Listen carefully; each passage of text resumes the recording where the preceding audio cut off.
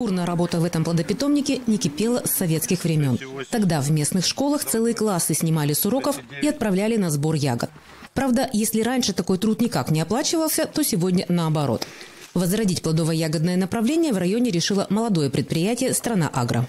Э, Эту работу мы со своей стороны стимулируем, то есть э, ввели сдельную оплату труда для того, чтобы э, молодежь, студенческая молодежь, она немножко все равно были положительные моменты в этом физическом труде.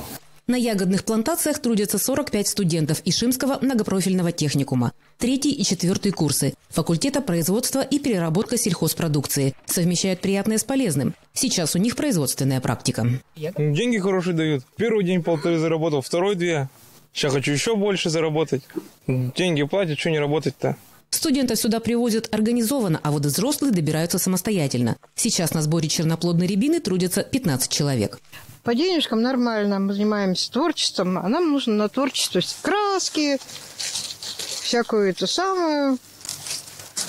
Вот денежки за это и зарабатываем.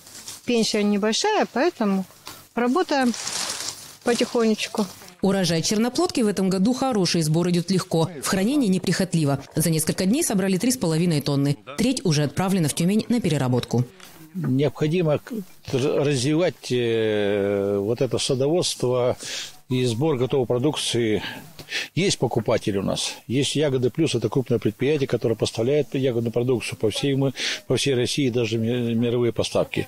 Он готов закупить в любом количестве любую продукцию. Если есть покупатели, почему бы нам не поработать в этом направлении? Поэтому осталось найти человека, кто за это возьмется. Вот э, с Булатом мы работаем в этом направлении. 40 лет назад в Ишимском плодопитомнике росли кустарники малины, облепихи, смородины и черноплодной рябины. За годы питомник зарос. Возродить былое богатство и планирует страна Агро.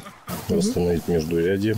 То есть, конечно, э, желание еще э, расширить площади этого данного питомника, ну и взаимодействие с торгово-перерабатывающими комбинатами. Оксана Павлова, Владимир Курков, Тюменская служба новостей.